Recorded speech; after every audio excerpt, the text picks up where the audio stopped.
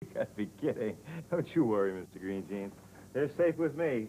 Heard that one before. Bunny Rabbit will get carrots from me.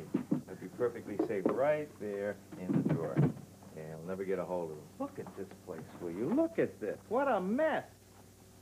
Somebody let the hat fall off the hat tree, leave it right there on the floor. Look at the book.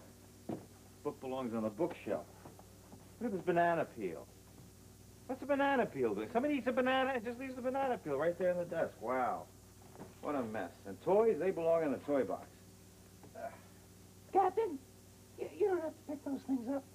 I don't, No. huh? Uh-uh. Well, if I don't pick them up, who will? Bunny Rabbit's new wind-up machine. Bunny Rabbit's new wind-up machine? Yeah, you see, everything winds up where it belongs. Look, I'm not in the mood for tricks. No, honest, really, it does exactly what I said. You won't have to bend over and pick things up anymore. I won't? No, you see, you just put the key in the machine and wind her up absolutely free. Really? Yeah, there, there's the key right here.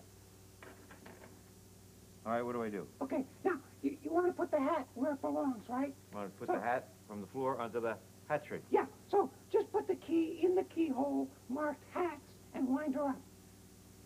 What can I lose? Right.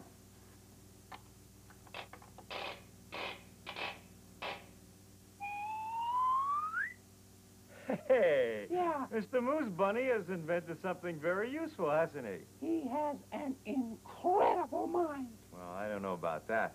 Let, us see if we can uh, get the book back on the shelf. Okay, just in the books, right?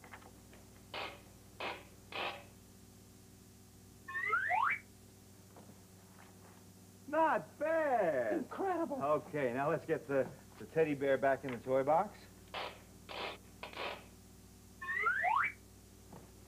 Oh, Yeah. okay, okay, that's terrific.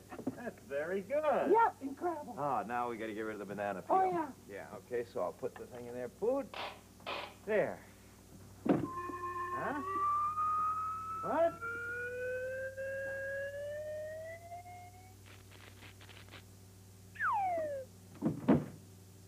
Hey! What happened to my carrots? Well, I mean, you wound up food.